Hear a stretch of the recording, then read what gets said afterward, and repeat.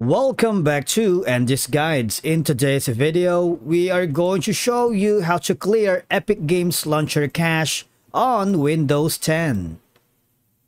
Let's begin. Now, the first thing you need to do is to log in using your credentials. If this is your first time on Epic Games, just follow the on-screen instructions. You can choose all these options to continue signing up you can go to your Xbox account, your PlayStation, Nintendo, Steam, Facebook, Google, Apple, and even your Lego account. And by following the on-screen instructions, you're good to go.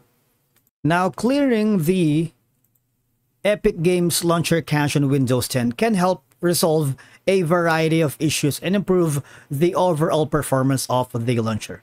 Because number one, say for example, if the Epic Games Launcher is loading slowly or not starting at all, clearing the cache can help resolve these issues by removing corrupted or outdated files. Now, how do we do it? The first thing you need to remember is that you need to close the Epic Games Launcher and make sure that the Epic Epic Games Launcher is not running, so close it if it's open. I'm gonna do that right now. Now, I need you to go to the cache folder of your Epic Games, right? So just go to the following directory, which is gonna be your local Epic Games launcher and then save.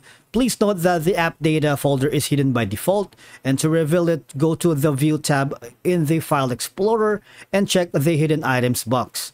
And from there, delete the web cache folder. Inside the save folder, locate and delete the folder named web cache, alright? And try to restart the Epic Games launcher.